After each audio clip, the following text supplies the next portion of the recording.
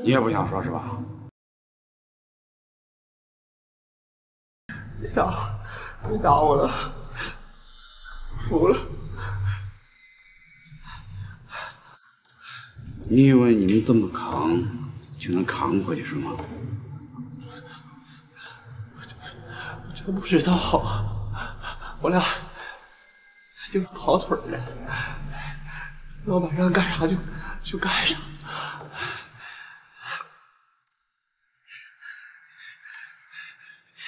别打我！你自己相信你自己说这话吗？能相信吗？相信吗？你们把他放了吧，那个车老板那我雇的。我告诉你，把你们几个人都枪毙了，也不冤枉你们。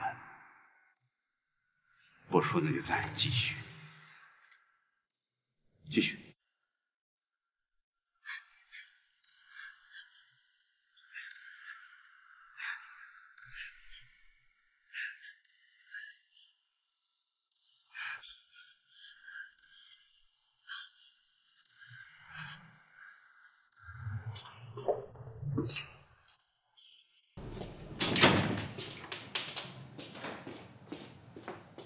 先生回来了，啊，太太都睡了吧？早就躺下了。太太今天好像有点不舒服呢，啊，怎么回事？不要紧的，可能是累着了。嗯，行，你也早点睡吧，今天不烫脚了。那又不麻烦。我也想早点休息啊。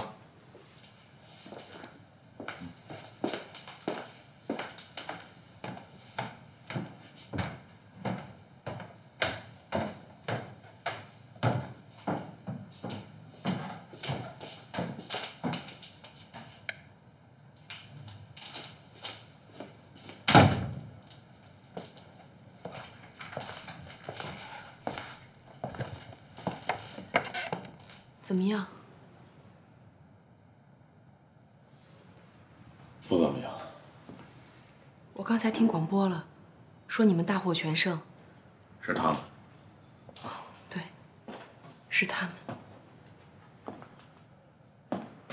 大卫他们没有抢在我们之前把人救出来，被扣的人呢？都在检察厅。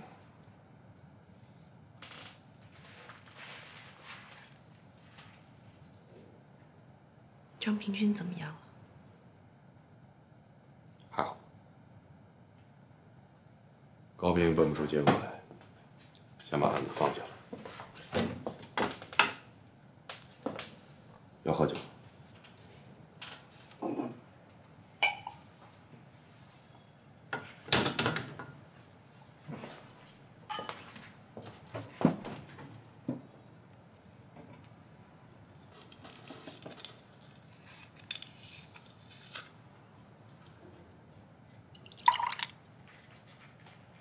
那天我给你送衣服的时候，在走廊里我看见他了。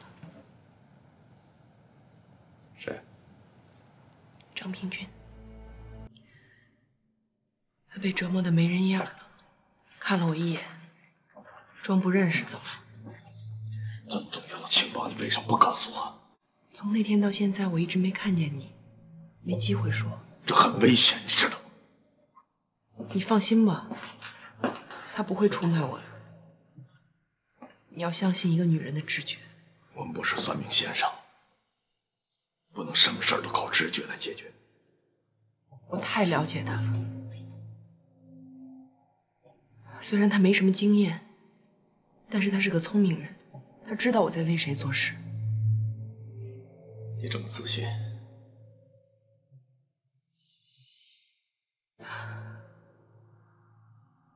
我跟平汝结婚没多长时间，但我跟他们家打交道打了好多年。我跟平汝在俄罗斯待了一年，我太了解他们家了。他对他的哥哥情同手足。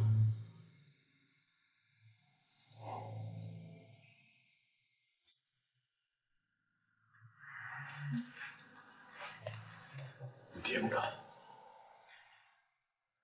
不是凭侥幸来生存的。一旦出了问题，这就是灭顶之灾。这一次相信我吧，他只要能扛过了重刑，他就一定不会出卖他的亲嫂子。我是担心他误会你。这件事从头到尾对他来说就像是一个拳头。人在无助的时候，很容易把事情往坏处想。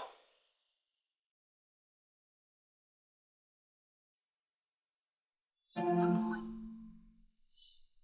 我那天看见他，我就知道。还是要做最坏的打算。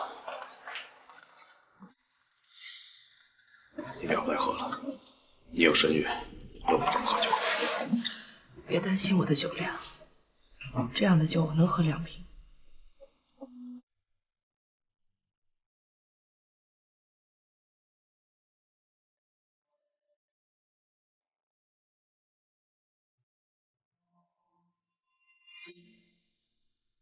我那天看见他的样子，我简直不敢相信。我一直在想，是什么样的人能这么折磨自己的同类？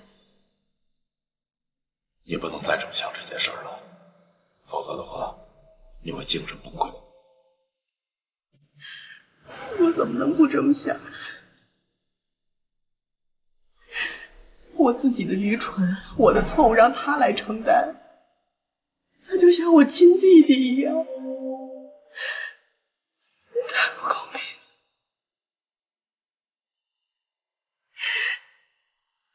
我宁可我自己把他们俩换回来。你不要这样想，他也有错，他犯的错误比你大。你们两个当中要有一个做事谨慎的，就不会是这样的结果。不说这些了，我们换个话题。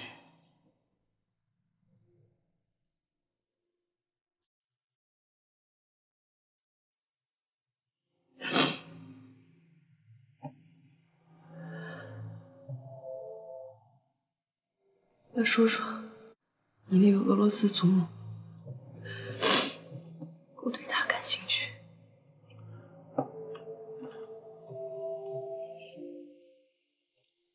其实也没什么好说的。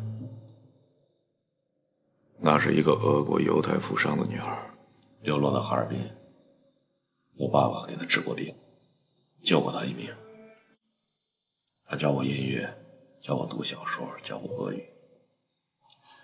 我一直叫她奶奶，直到她去世。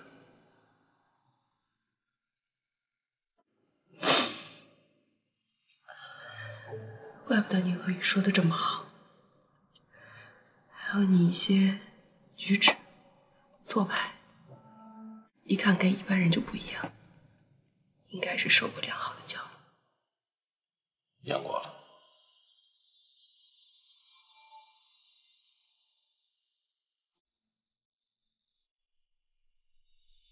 我丈夫一直希望他弟弟能成为一个建筑师，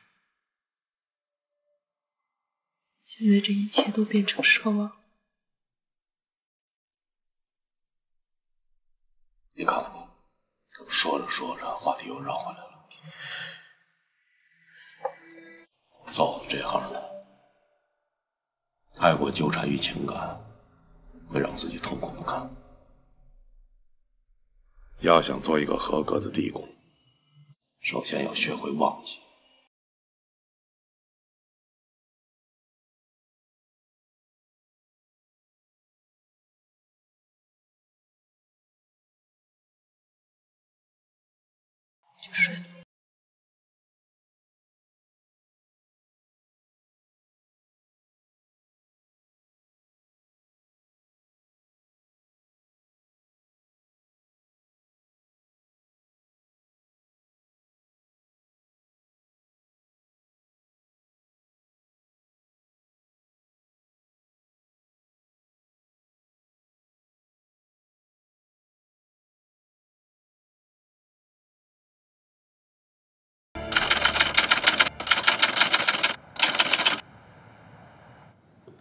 昨天晚上我们是审到了后半夜，那个抗联代表还是避重就轻的谈了一些皮毛，但是那两个人还是矢口否认，什么都不谈。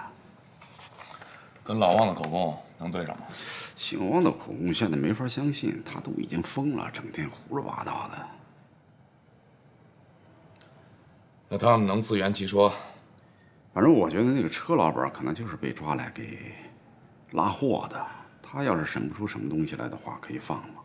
但是那个姓董的，我觉得比较狡猾。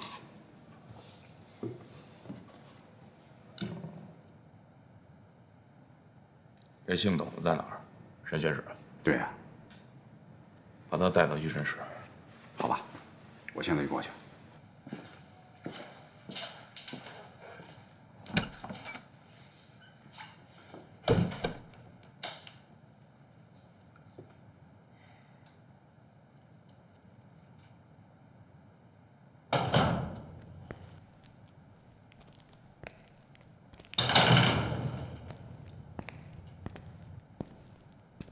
我看了你昨天的口供，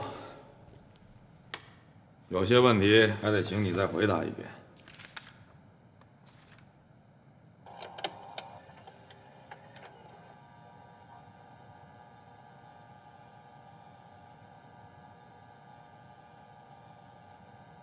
在奉天的时候，你进这家公司之前都做过什么？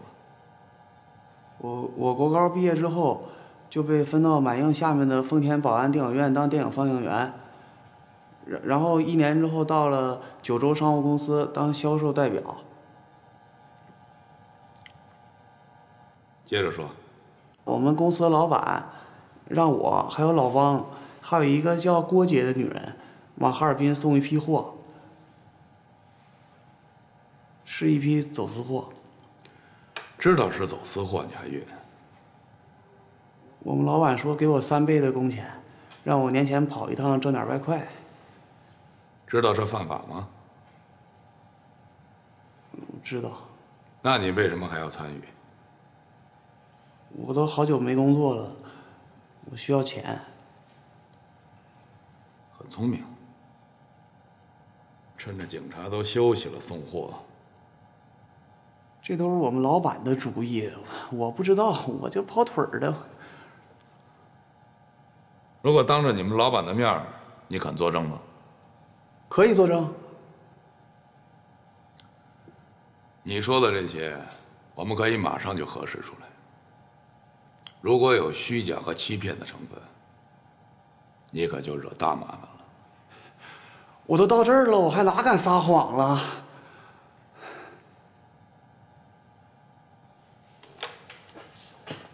那我再问你，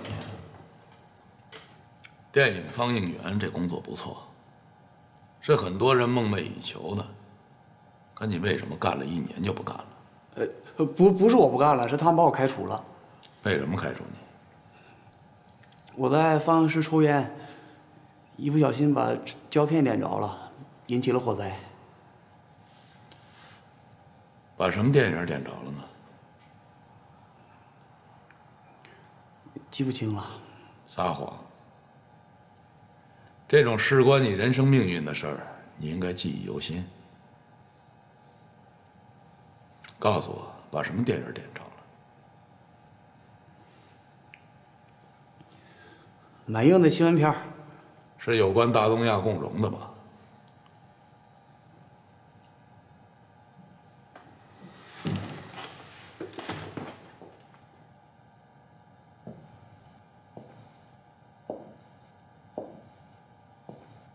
让我来说说你吧。你叫董玉刚，康德四年，奉天国高毕业之前，就已经接入了共产主义学说。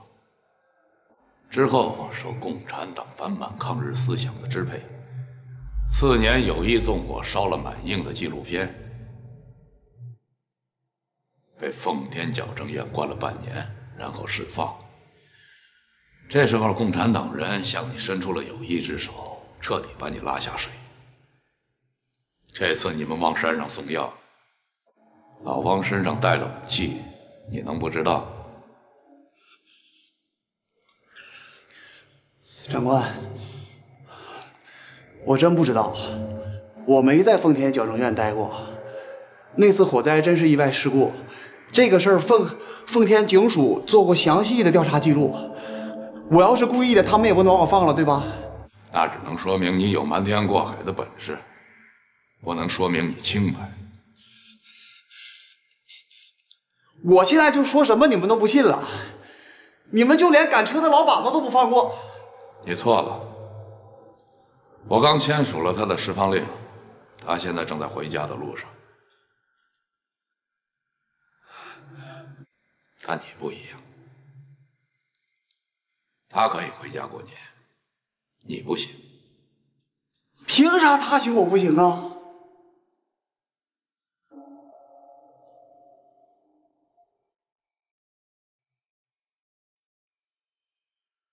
道理很简单，因为他是老百姓，你是共产党。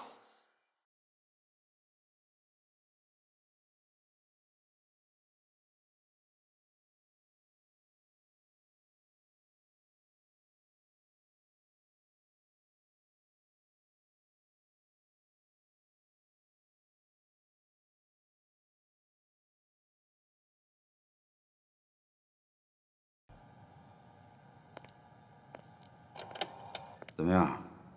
这个家伙滴水不漏吧？他肯定有问题。反正是不是共产党，还要再确认一下。这还用问吗？肯定是共产党。反正是人是鬼，丰田的协查报告到了以后就全知道了。走吧。走。哟，高处长你回来了。哎，周家回来了。哎呀，干得不错，辛苦啊！我马上提出对你们嘉奖啊！谁啊？那个姓汪的，肝被打坏了，今天早上刚死。姓汪的，这么不经折腾？实际上这个人对我们价值不大。那个叫张平军的怎么样？还没开口啊？你觉得有希望吗？我看全。他就是斯大林说的那种特殊材料制成的。实在不行啊，打个报告，年前处理算了。移交地方法院。地方法院能判他几年呢？处理不照样害人吗？啊，就这样啊。那那女孩呢？女的都一样。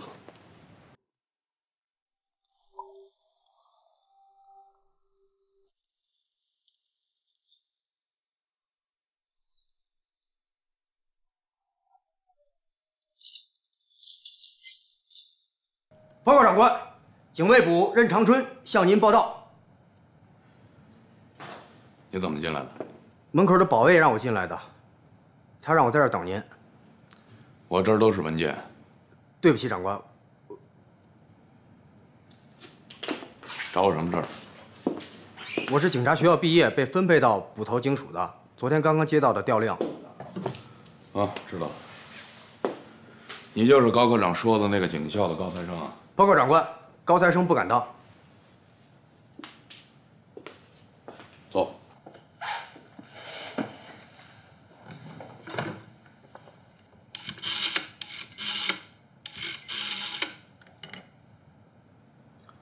喂，高科长，是我。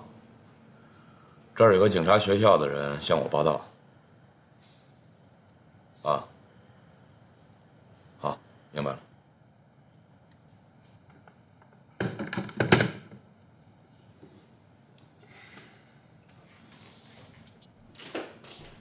长官，这是我的简历和报告。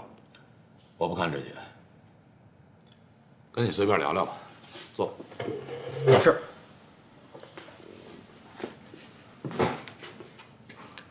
你父亲是做什么的？种地的农民。那你为什么没有种地，子承父业？我觉着我能做比种地更重要的事情。在我看来，种地是这世上最重要的事情。那就是因为太重要了，我现在才疏学浅只能先做一些相对不重要的事情。比如呢？比如来捕头警署当警察。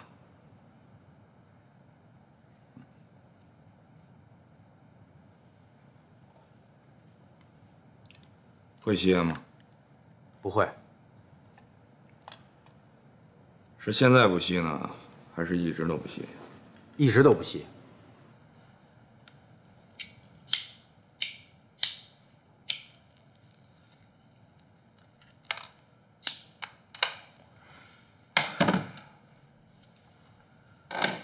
这儿可是个五毒俱全的地方，来了以后得什么都学会。请长官放心，只要是工作需要，我都能学得会。不抽烟是因为健康，是因为家里穷买不起。父母勒紧裤腰带让我上学，就是希望我将来能有出息。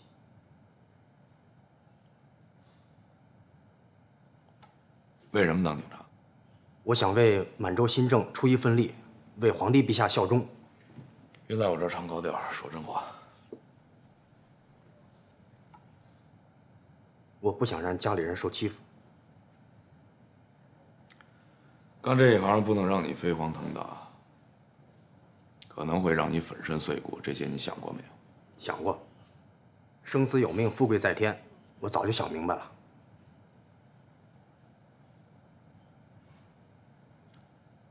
我以前见过你，第一次见你的时候，就感觉到你很聪明。但做这一行，光有聪明不行，还要有勇气和信仰。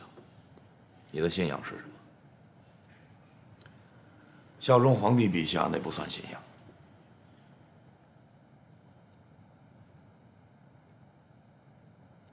这个我以前没想过，我回去想想，明天回答您。经过思考总结出来的信仰，那不是真正的信仰。真正的信仰是源自于对社会的认识。对不起，长官，您说的这个我不太清楚。这个问题不需要回答了。啊，你的考核通过。如果让你自己选择，这些科室大队，你想去哪个？长官，我服从分配，我没有选择的权利。一定要让你选择，你想去哪儿？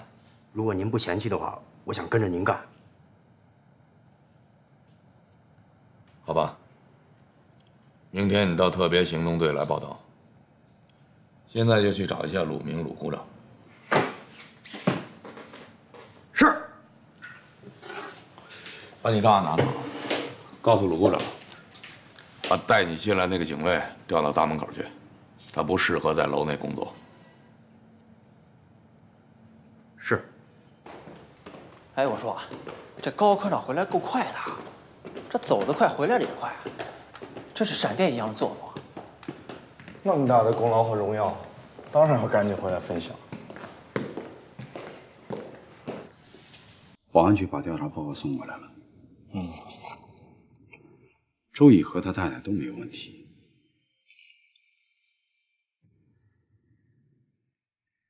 新来的任警官是从警校毕业的，他入学的时候档案都已经调查过了。我们还需要再调查吗？当然要查。科里所有的人都要调查，谁也不能例外。好的，你把他的材料送到保安局去。啊，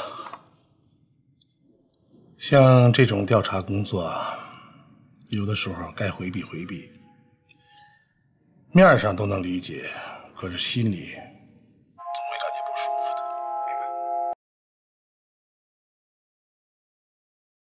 科长。周毅把新来的警官安排在特别行动队了。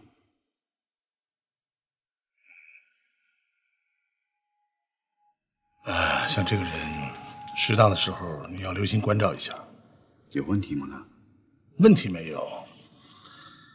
有问题能调到特务科来吗？但是，不能说一个人没有问题就不做调查，对吧？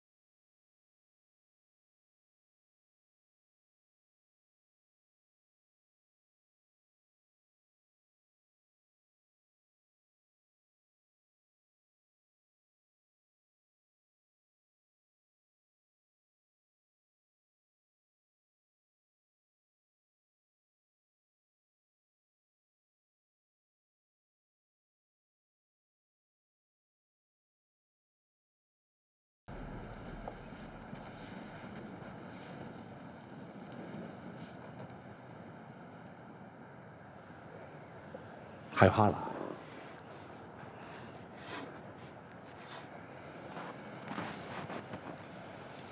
要不再给你一次机会啊？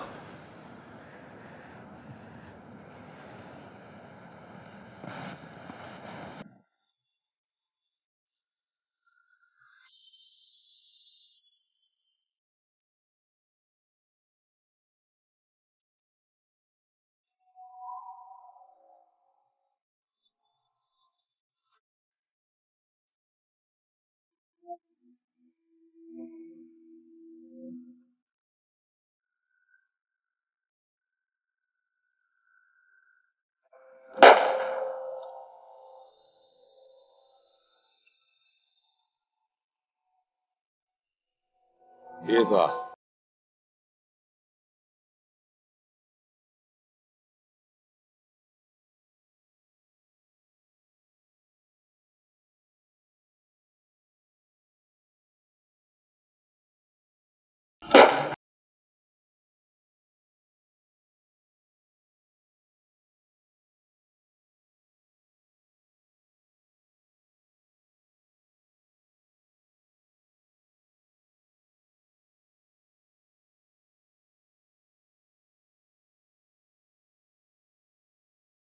你是不是还没开过杀戒呢？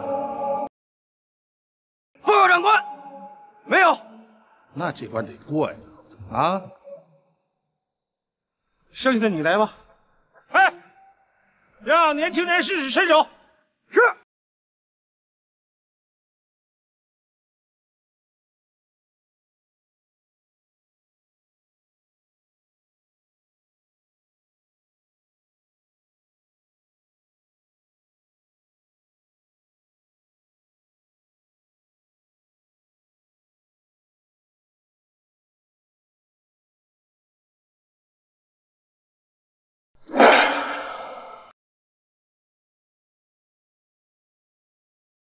现在这共产党啊，越来越年轻了。可惜了，女孩还挺漂亮的。这两天我好像血压高，没休息好吧？哎呀，脖子也硬。我老婆给我找了个偏方，也不知道好不好使。你整点儿鬼针草泡枕头。这年龄大了，哎呀，有些病啊，就找上门来了。哎，哎，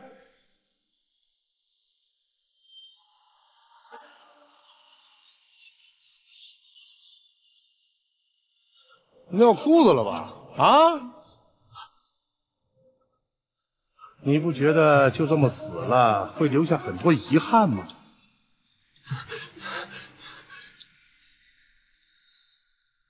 另外，我告诉你，也许你的那些同伙啊，还以为你已经叛变了，那你不白死了吗？啊？你们滥杀无辜，回到天谴，你怎么还不认罪呢？啊？去不去？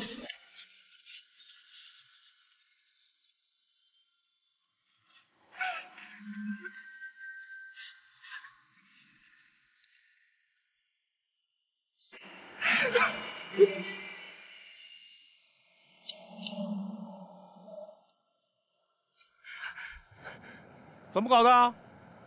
枪怎么还打不响了呢？好了，算这小子命大，把人带回去吧。走吧，走来人，把他带走，回吧。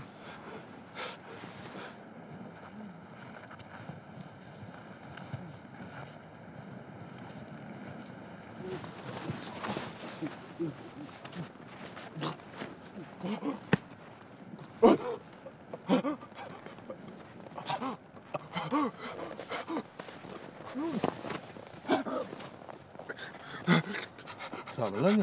啊？你吐什么呀？啊？我告诉你，算你命大，今天呢，就算你参加了一次演习。如果你还不改变态度，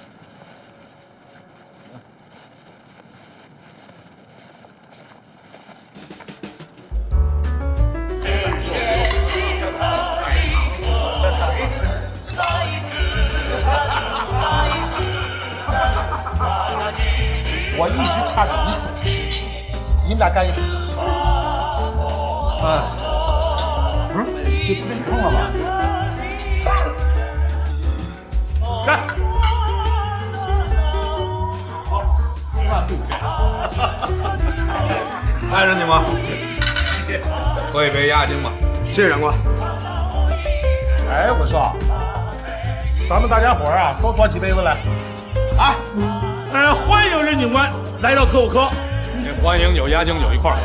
哎，这没什么不吉利的。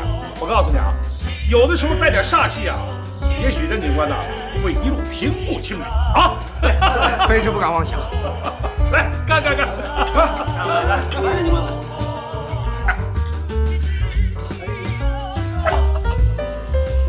好好干啊！哎，我说周队啊，今日任警官第一次开杀戒，是不是放他一天假呀？任警官明天休息吧。你放这一天假，我建议你应该去打打牌。是这两天的水气肯定跟以往是不一样的。不会，因为你身上有煞气，诸神避让，小鬼不敢近身。你真的试试？那不一定，赌神也是神，我看不如给他找个姑娘压压惊。我我还是上那那妙龄寺烧烧香。啊，刘警官，你去带任警官验验身啊，没碰过姑娘是吧？啊，我说，任警官，你是不是敬大家伙？各位长官，各位同仁，我任长春一定不辜负大家的希望。我自饮一杯，谢谢大家。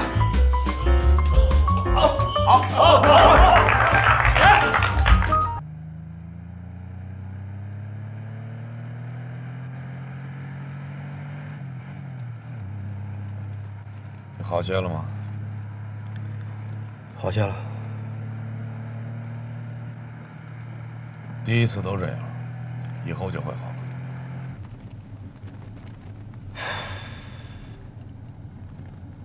今天过得真有意义。第一次喝这么多酒，第一次杀人。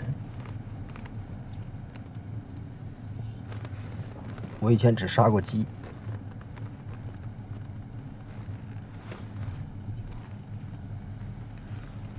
没有谁天生就喜欢杀人的。这压惊宴和欢迎宴放在一块儿，真不吉利。这怪不得高科长，最近事儿太多。上次行动中牺牲的警官善后工作还没做完呢。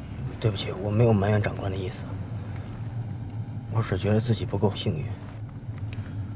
你喝多了，回到家好好睡一觉吧。我肯定会做噩梦。人什么都会适应，包括噩梦。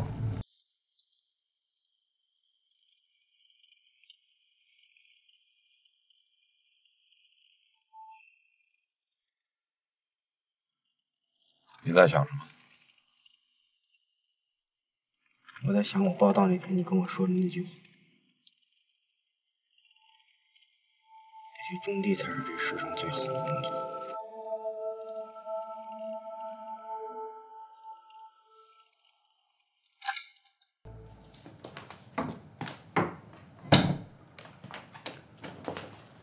睡啊？这么晚了。睡不着。你抽了多少烟？满屋都是烟味儿。这么抽烟，将来对小孩不好。我妈抽烟，我爸喝酒，我也没变成傻子。知道你心情不好，可也总不能这样。你要学会调节自己。说实话，我想上山上去。我像现在这样，我真的是度日如年。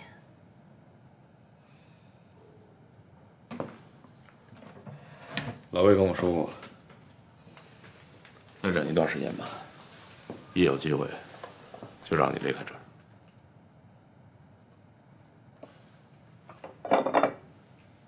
其实你人挺好的，就是我总给你惹麻烦，让你不高兴。这是我的工作。哎呀这个角色真是太不适合我了。你以为他很适合我吗？那我倒没想过。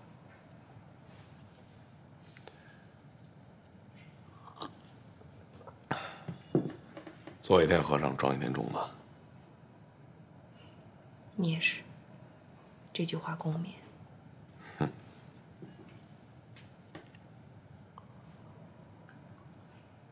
扣子掉了，脱下来吧，我给你缝缝。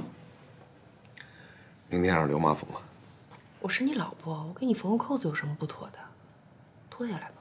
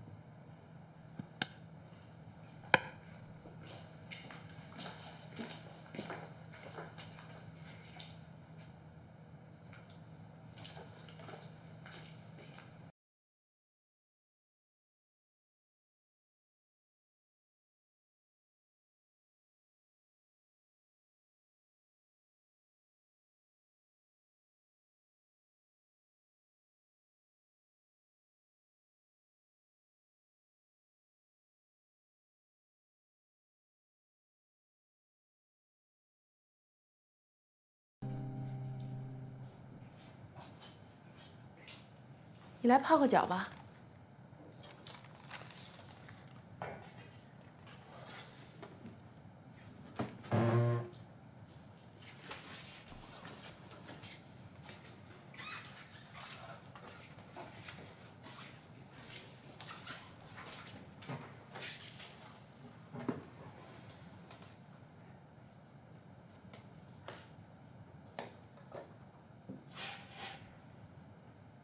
今天去郊外了？啊，看你新换的鞋垫儿都湿成什么样了？去搜山了。有什么新情况啊？搜捕残余的山林队没什么。对了，直系亲属调查报告已经取回来了，应该没什么问题。你怎么知道？那天我看见是鲁明去取回来的。如果要有问题的话，他们应该直接联系高斌，不会经过鲁明的手。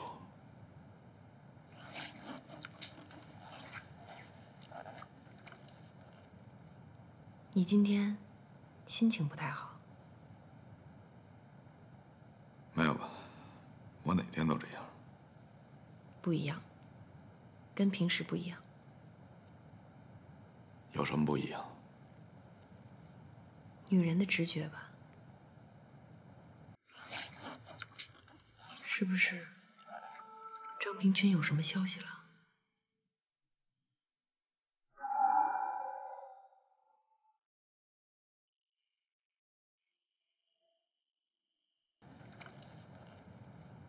你今天心情不太好。没有吧，我哪天都这样。不一样，跟平时不一样。有什么不一样？女人的直觉吧，是不是？张平君有什么消息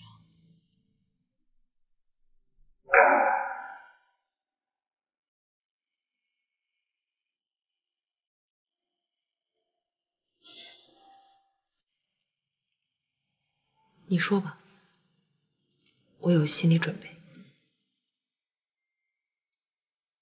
本来不想告诉你，特务科看审不出什么结果，已经把他们转送到哈尔滨地方法院了，会怎么样？会判刑。重刑吗？五年左右吧。他们是学生，满洲国政府，要做个样子给西方列强看，要把他们的暴行合法化了。你不用为他们的安全担心。如果碰上大赦，他们就能提前出来。你一定会见到他们。刘妈今天说，为什么咱们俩连个结婚照都没有？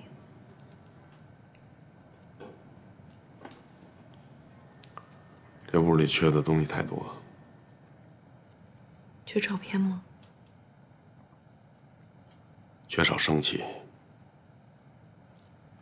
这家里有一股金属的味道，冷硬、刺鼻。我跟张平汝也没照过结婚照，一张合影都没有。我和我老婆的照片全都烧掉了，一张都没留。你们有孩子吗？有，四岁了，有照片吗？都烧了。我以前生活的痕迹一点都不能留，留下这些，对我对他们来说都是隐患。你想孩子吧？不想，怎么会？没时间想。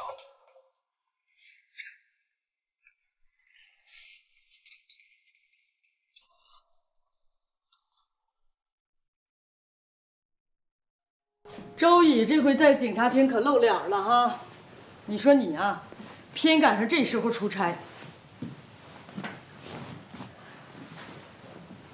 我看这个周乙呀，是新官上任三把火，把你们警察厅的天棚都燎着了吧？啊，那说明人家能干。得了吧，我还不知道你那点小算计，我算计什么了？你自己知道。哎，我看这个周乙呀，可是来势汹汹。你说啊，你好不容易经营的这么一大摊子，这凭什么他一上来就收好处啊？哎呀你不懂，睡觉吧。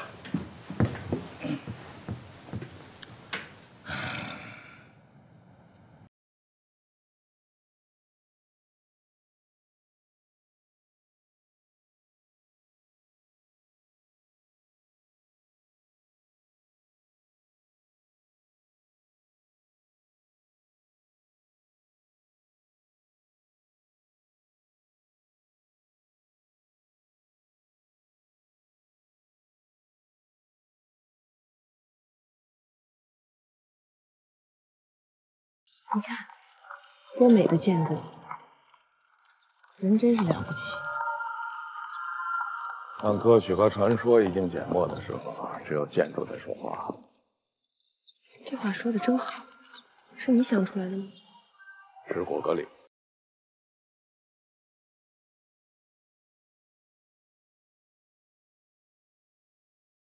你看，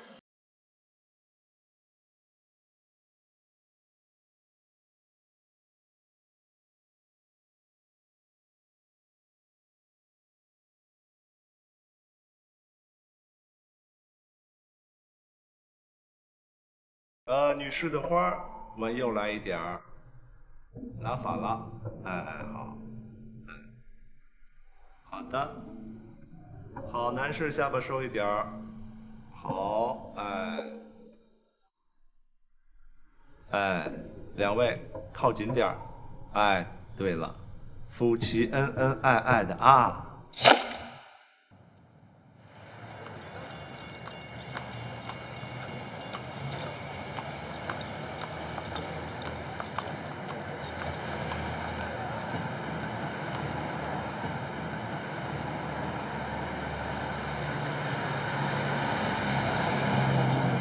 等一下。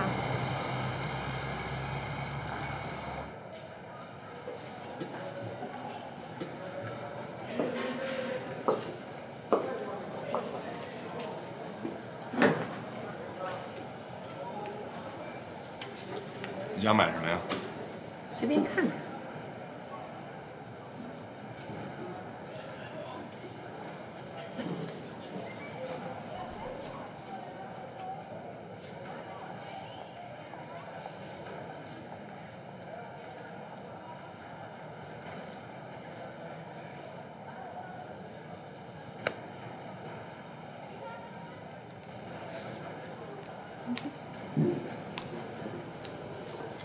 看看我的眼光怎么样？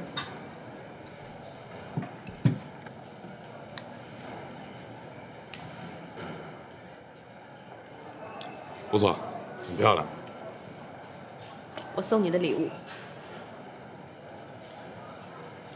送我这么贵重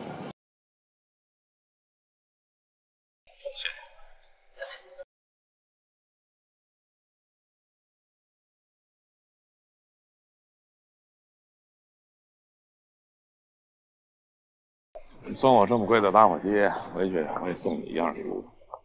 真的？一个镯子，不值什么钱，但是是我俄罗斯祖母留下的，据说年代很久远，对我意义重大。好，那我先谢谢你了。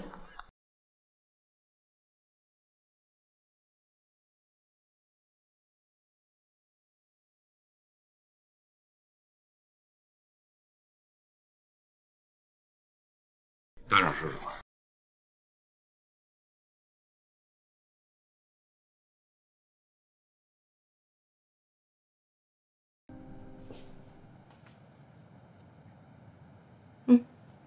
我收下了。不过就你这个，任何一个农村老太太都有。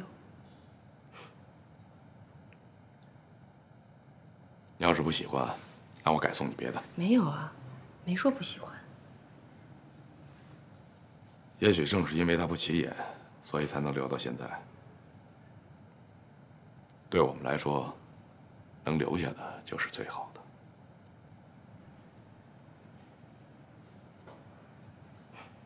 谢了。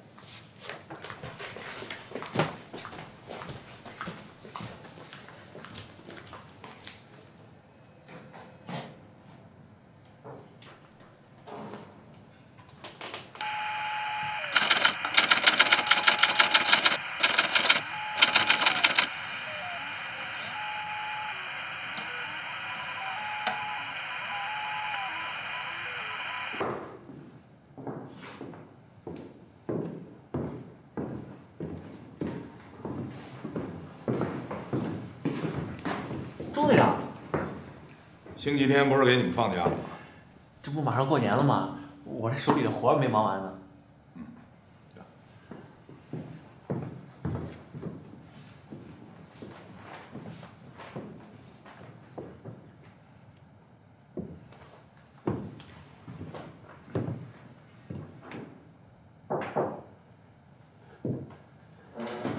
队长，忙你的，我就是随便走走看看。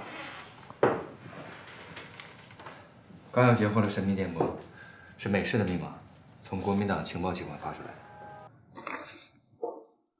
截获了破译不了，有什么用？他们这些人呢，现在实在太狡猾了，每次发报都变换地点，想截获他们实在是不容易。一会儿还要转给宪兵队。这个我们也得存档。是这样，保安局有专门的人员负责存档，我们只做一个简要的记录。对了，我给你弄了一份美国方面关于如何破译密码的英文教材。是吗？在哪儿啊？你去我办公室拿吧，就在我办公桌右上角放着。好。啊，书架上还有一盒茶叶，你也拿来喝吧。那我就不客气了。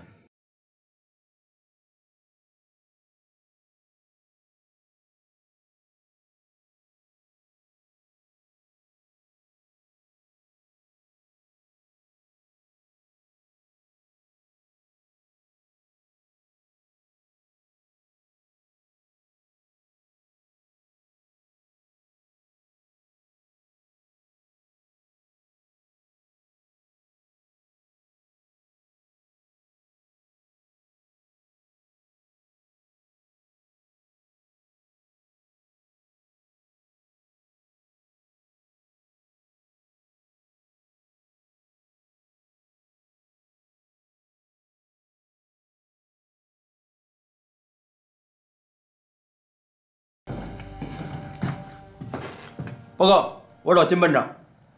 金班长在我办公室，有急事去那儿找他。我找他签个文件。那你等会儿再来吧。是。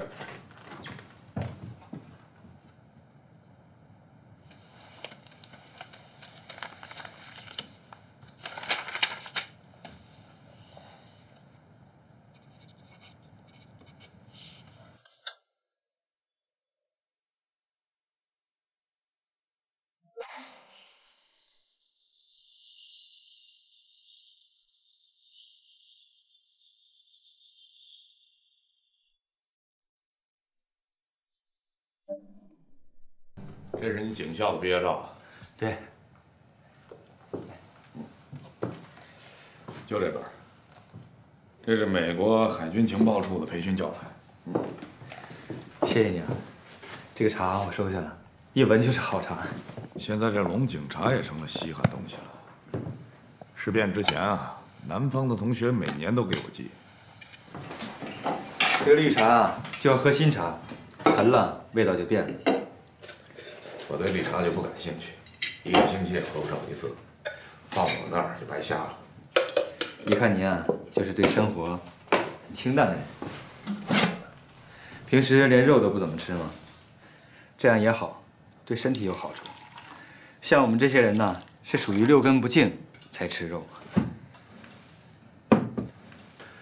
你把我说的像是和尚。我不是这个意思，我是说，您是对生活和健康很讲究的人。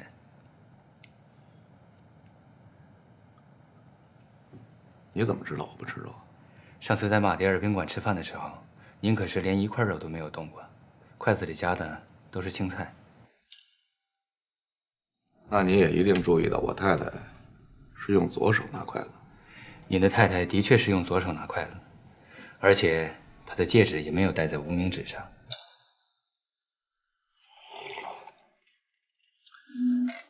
你应该当侦探，管理无线电，委屈你了。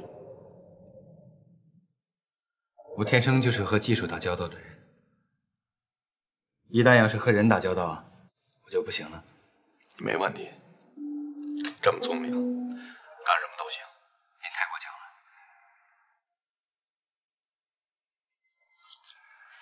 你忙吧。啊，对了，刚才有个通讯兵来找你，我让他过一会儿再来了。我知道了。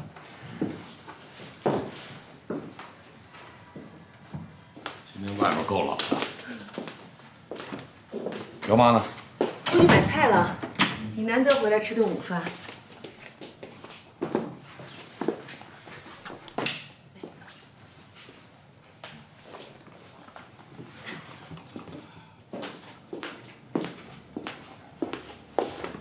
照片这么快就洗出来了？啊，上午我会取回来的。你照的还不错，挺年轻的。我怎么那么显老？这照片感觉是个老头在纳妾。去你的！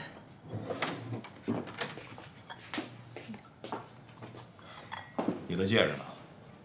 我平时在家都不戴啊。怎么？你要送我一个？你还记得我们第一次见面，就是你去车站接我那天，你的戒指戴在哪个手指了吗？应该戴在食指，因为我跟张明儒是秘密结婚，在外面我的身份还是一个独身女子，所以我一直戴在食指上。我应该想到这些的。你的心真细。不是我，有人比我心还细。还记得那个金小雨吗？那天吃饭的时候戴眼镜那个。记得。好像不太爱说话的样子。我今天跟他聊天的时候，他问我为什么不爱吃肉。那天吃饭的时候，他观察到了我只吃肉边的菜，是他看到你的戒指戴在食指上了。他怀疑我了？没有。他要是怀疑，就不会跟我说这些了。这些人没有一个是笨蛋，能坐在这张牌桌上的，个个都是人精。真是一群魔鬼。日本的警察学校非常重视对细节的观察，他们专门有一堂课，让你进入一个房间观察一分钟，然后会对房间内的陈设做一些细微的变化，比如把盘子左边，叉子放在右边，把两个高矮不同的杯子相互倒一个。你再进来的时候，要观察到这些细微的变化。回头我就把戒指换回来。不必了，也许戴在食指，更能表现出你水性杨花的本性。讨厌。对了，下次再跟特务科的人或者他们家属在一起的时候，要让他们看出你的轻浮，要我去勾引他们？不能勾引，千万不能勾引。你只是让他们感觉出。你是一个对男人感兴趣的人，就是说，我要偶尔按耐不住春心，打量一下男人。我的意思是你一定要让他们自己观察到，而不是刻意的表现给他们。戏不能过，点到为止。这都什么乱七八糟的？这就是我们的生活。这生活一点也不高尚。高尚的人早就成了烈士。不要抱怨，也不用烦，生存是第一位。现在我在警察厅里，背后受人指点。作为一个男人，我还得付出荣誉和尊严。这是他们新截获的电文，应该是国民党方面的。你用那套密码试一试吧，看能不能找到有用的东西。好，我这就去。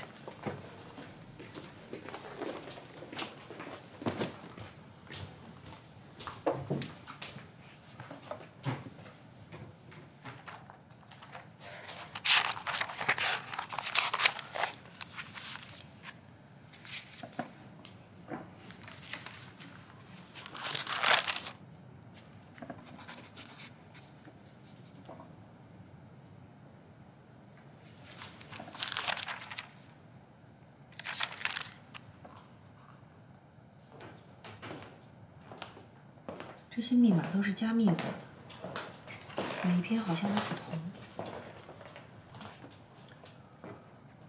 我只抄了最近三次的电文，以前截获的都送到宪兵队存档了。以你的身份，搞到这些不是很容易。你错了，这些密码给了我们也看不懂，所以如果我去要他的话，就会引起怀疑。高斌在这方面很敏感。他是严守保密规则的人。如果你偶尔从他嘴里听到了有用的情报，那很可能是他有意透露给你的。你再给我一些时间。这个不着急，你慢慢议。要是再多一些电文就好了。越多的话越能找到规律，这样的话就得挨个试。美式电文的加密方式我很熟悉。国民党照搬美国人的东西，出不了什么新花样，不会太复杂。在地战区，他们没有那么多人才，我们手里有母本，万变不离其宗。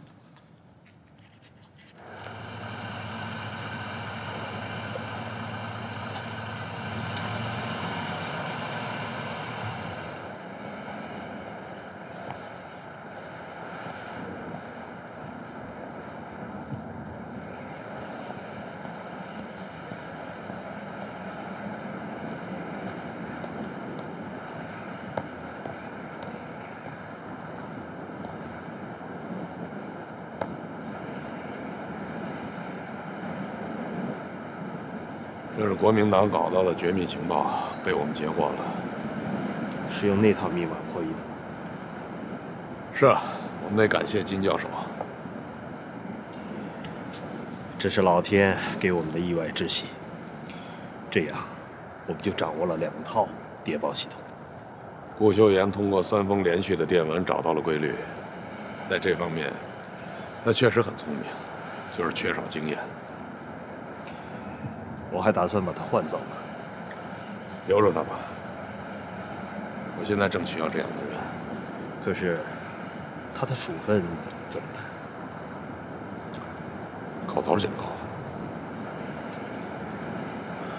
现在他已经知道厉害了，以后肯定会小心的。老周，你们俩的关系怎么突然变好了？我知道你问这话什么意思。我们都是忠于自己家庭的人，你就放心吧。也是啊，把你和一个漂亮的女人天天关在一个屋子里，真是难为你啊。我现在每天算计的是如何活命，哪有闲工夫想女人？跟你开个玩笑，你还当真呢？我想老婆跟孩子，这倒是真的。不说这些了。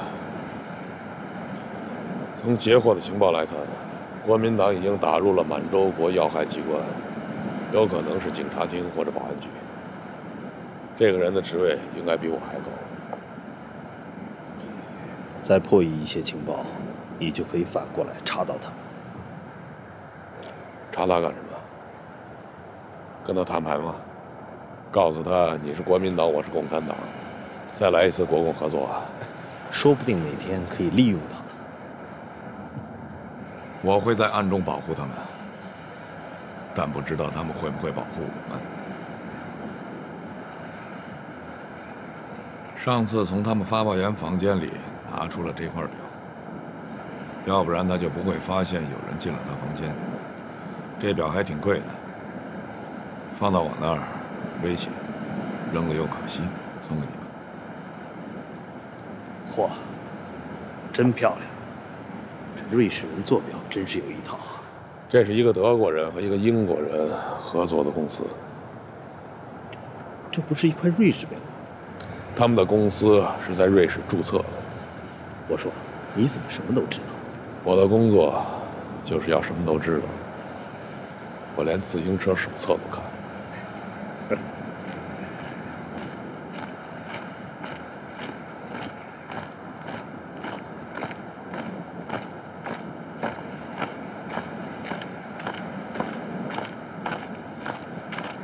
小董的情况怎么样？他很聪明，什么都没有承认，经受住了酷刑和假枪毙，是个经得住考验的同志。那天山上的部队离这儿最近的也有一百多公里，实在是来不及。还有，老王受刑过重，牺牲了。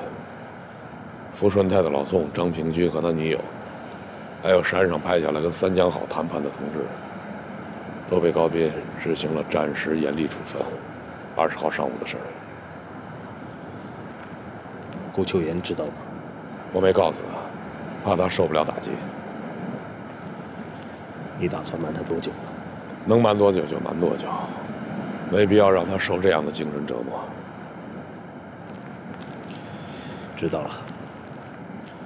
小董和那批药，不是一点办法都没有。我想了一个很冒险的计划，可以试一试。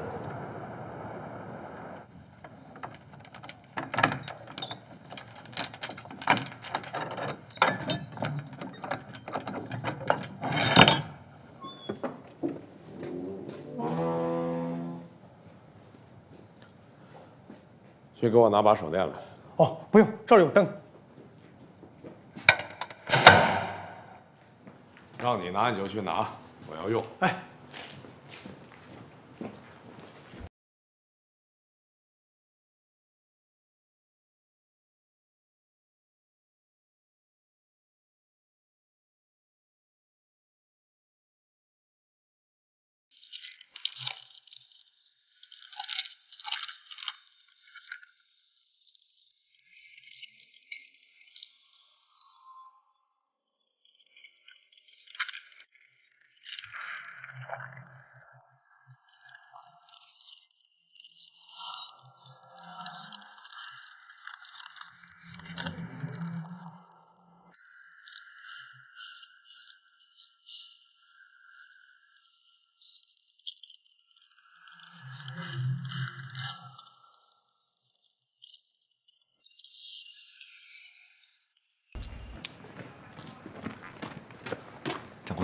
嗯，又没伙食了。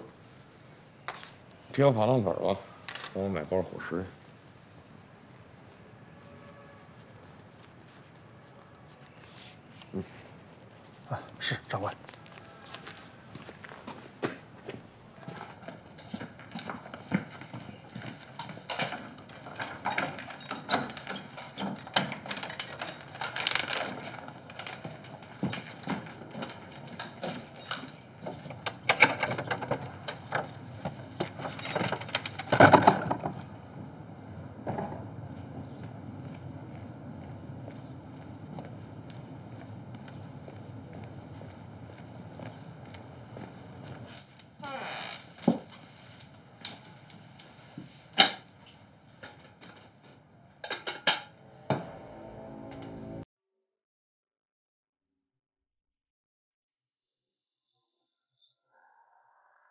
周队长呢？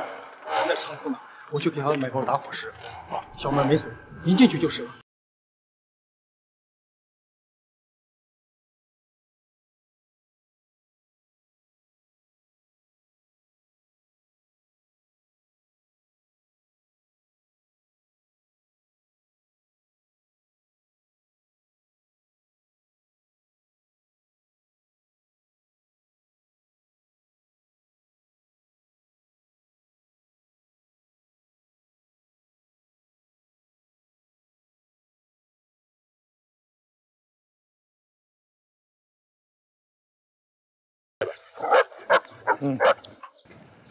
在这等着，不要让任何人进来。把生化制剂掺到这些药里，然后再派一个人假装起义，把这批药品再送回去，让抗联全部死于慢性中毒或者是传染病。我这个计划是太伟大了。你真是个天才！你又取笑我了？不是取笑，你确确实实是个干大事的人呐。只是，你考虑过没有？这个计划要实施起来是有一定难度的。有时候难度越大，成功的可能性就越大。我指的是啊，你怎么跟日本人说？你还记得去年八月农安县那场鼠疫吧？是石井四郎的东乡积水防疫部队成功的控制了疫情，他怎么控制的？拿什么控制的？那些鼠疫菌又是从哪儿来的呢？谁也没问，我想谁也不敢问。所以啊，有些事情啊，大家都心知肚明，谁先捅破，谁倒大霉。我可以先去试探一下。如果感觉不对，我闭嘴就是了。如果他们对这个计划感兴趣，您再浮出水面。我既然不想负这个责，我也不想领这个功。这只是个策略而已。日本人太想消灭抗联了，这样千载难逢的好机会，他们不会不动心的。万一呢？你知道日本人做事的方式，平时是摆好签好，一旦翻起脸来。让你连骨头渣都找不着。哼，我觉得应该没问题。他们总不至于杀了我灭口吧？这么好的机会，实在是难得。是啊。这样吧，你呀，让我再考虑考虑。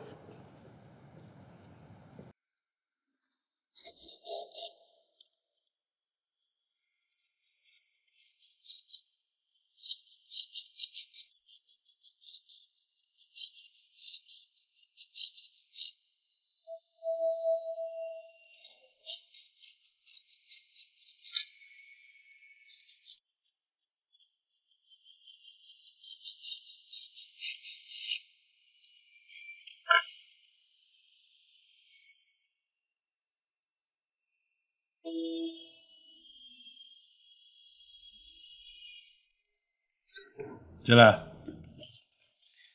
高科长，这是你要的名单。嗯，你去把周队长请来。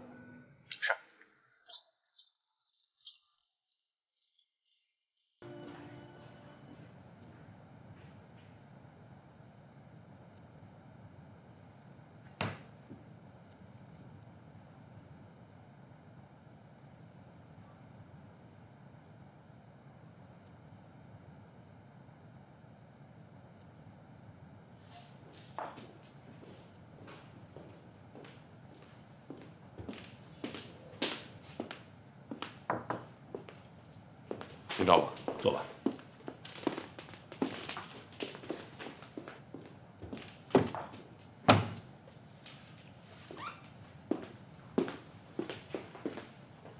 我考虑好了，你那个计划非常值得一试。那好，我尽快去找涩谷先生。恐怕前期有很多事情要做。你想好了人选了吗？还没有。你觉得新来的任警官怎么样？他太年轻了吧，没什么经验。经验，我想并不重要。即使暴露了也无所谓吧，因为我们醉翁之意不在酒。嗯，这么说好像对任警官不够公平，但是你想，对一个价值这么大的计划，我们做出点牺牲，也是应该的。是。任警官挺不错的，家境贫寒，很努力，我挺喜欢这小伙子。是啊，你想，家境贫寒，这正是他喜欢共产党、背叛我们的理由。我们并不是让他去送命，是让他完成一件比他生命更重要的事情，就是潜入抗联。而且我们要相信他自己本人会把握住自己的生死的。是。如果让他参与这个计划，还得向他隐瞒事情，因为他很可能会死于暴露，或者死于传染病和慢性中毒。嗯，我们可以给他授权，在他自身安全和生命受到威胁的时候，他随时随地可以回来。我知道，其实我们都不是小人，没有必要拿别人的死来建立我们的功勋，这都不是你我行事的方式，对吧？我明白。另外，我要跟你说，跟涩谷先生啊，不要提我知道这件事情，除非他想告诉我。这件事情没明朗之前，知道的人越少，对事情的成功和你个人的安全越有利。明白。恐怕这件事，你只有一个人安排了，也没有人能帮得上你。涩谷先生如果同意了这个计划，他只会跟我说，派一个人潜入抗联。他要跟我隐瞒这个计划的实质，所以用生化手段来消灭抗联，恐怕永远是你一个人知道。那我不会被日本人灭口了吧？不会的，他们需要你这样的人，甚至可以暗地里保护你。相信我，祝你成功。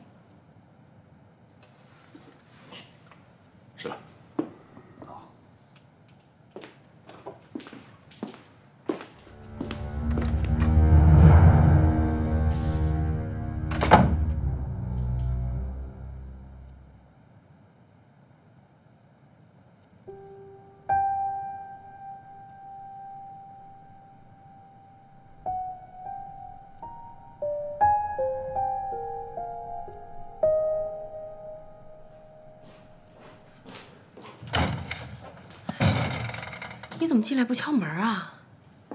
对不起，丈夫进自己妻子的房间还用敲门吗？你马上换衣服去找一趟老魏。有什么急事？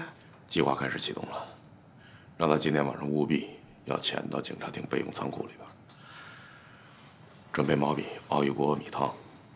进去以后找到那批药，在每一盒药的标签上用毛笔蘸着米汤刷一下，干了以后不会看出来。到时候如果他们掉了包或者做什么手脚，那电一试就能试出来。还有这件事情，告诉老魏，不能再让第二个人知道了。那么多药，他一个人怎么完成得了？能完成多少算多少。明天一旦日本人接手这件事儿，他们就会封存或转移那批药，到时候就来不及了。我去吧，我跟老魏一块儿。再说，我们两个是唯一知道你身份的人。你行吗？没问题。晚上我在警察厅值班，行走之前给我来个电话，问一些简单的问题，比如吃药没有，东西放在什么地方。如果我说不用了或者不知道，你们就要重视行动。我办公室离仓库很近，也许到后半夜我能过去帮你们会儿忙。记住了，我们怎么进去？这把钥匙是仓库大门上那个小门的，里外都能锁。记着，进去以后要从里边反锁上。这个是仓库门的钥匙。进了仓库，左手走到头，那批药在那儿放着。我今天刚配的，应该没问题。那没有警卫吗？有，有一个老门卫，这个人平时爱喝二两。我在他酒里下了药，估计到天亮他都醒不了。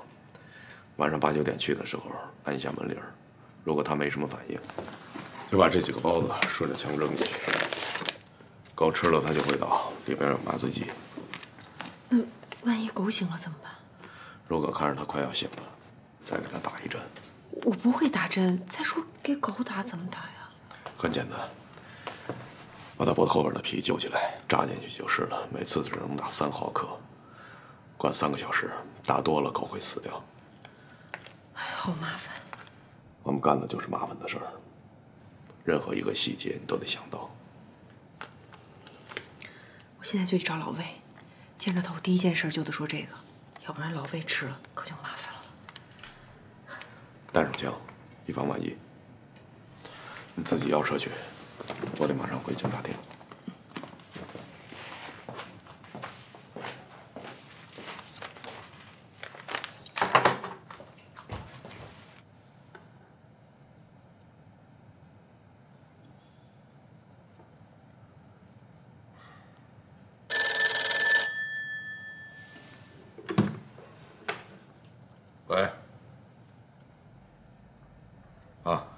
啊，吃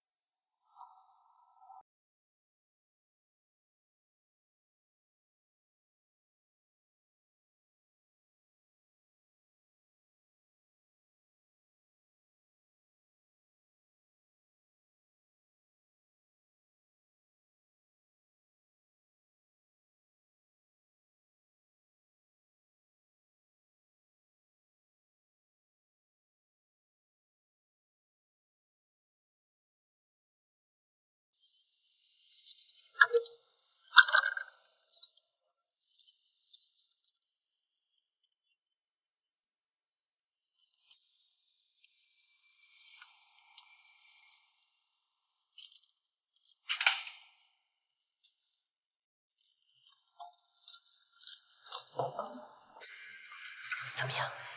人和狗都到了，我检查过了。这钥匙有问题啊！妹妹，丽身上一定有。